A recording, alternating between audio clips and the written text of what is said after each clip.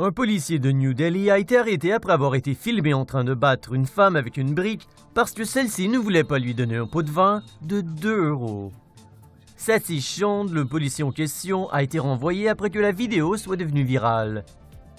La violence est survenue après que la femme ait brûlé un feu rouge alors qu'elle conduisait ses deux filles à l'école sur son scooter.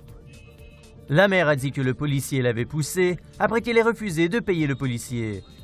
La femme avait demandé à ce qu'une amende soit envoyée à son domicile.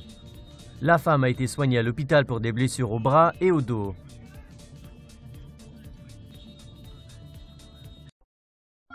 Pour des commentaires drôles et nos vidéos inédites, visitez fr.tomonews.net.